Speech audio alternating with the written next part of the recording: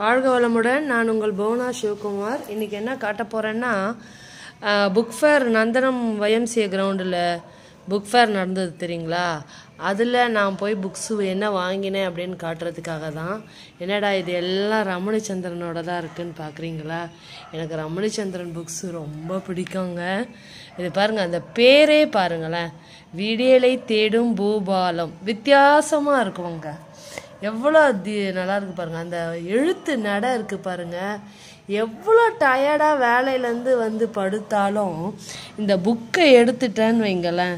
அப்படியே நம்மளே மறந்து அந்த புக்கோட வசனத்திலையும் ச நம்மளையே மறந்துட்டு அப்படியே அந்த அவங்களோடவே வாழற மாதிரியே இருக்கும். எனக்கு ரொம்ப பிடிக்கும். நான் சின்ன வயசுலேருந்தே நான் படிக்கிறேன் இது.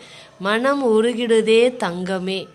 இது ஆக்சுவலாக ட்ரெயினில் மொதல் நான் ஒர்க் பண்ணியிருக்கும் போது செக்ரட்டேரியட்டில் ஆஃபீஸில் ஒர்க் பண்ணுறவங்கலாம் இது ஒரு புக்கு வந்து அப்போவே செவன்ட்டி நைன்ட்டின்னு இருக்கும். இங்கே பாருங்கள் ஒன் ஃபார்ட்டி இது ரொம்ப நல்லா இருக்கும் நேற்று தான் படித்து முடித்தேன் ஒன் ஃபார்ட்டின் போது அவங்களாம் ஷேர் பண்ணிப்பாங்க. செக்ரட்டேரியட்டில் ஆஃபீஸில் ஒர்க் பண்ணுறவங்கலாம் ஒருத்தவங்க ஒரு புக்கு வாங்கினாங்கன்னா அதை வந்து ஒ- ஒருத்தர் படிச்சுட்டு படிச்சுட்டு அந்த நான் ஃப்ரெண்ட்ஸ் எல்லாருமே வந்து ஷேர் பண்ணி ஷேர் பண்ணி படிப்பாங்க.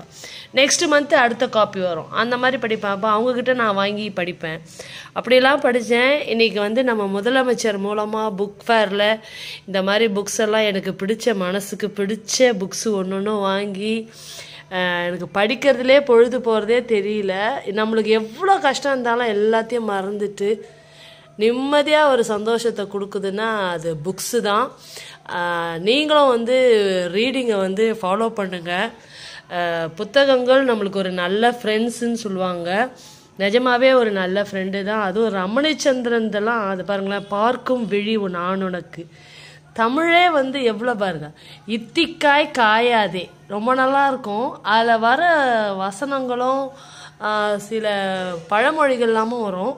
ரொம்ப நல்லா இருக்கும் இதில் இந்த மயங்குகிறாள் ஒரு மாது வந்து ஒரு பழமொழியை வச்சே ஃபுல் ஸ்டோரி வந்திருக்கோங்க. ரொம்ப நல்லாயிருக்கும்.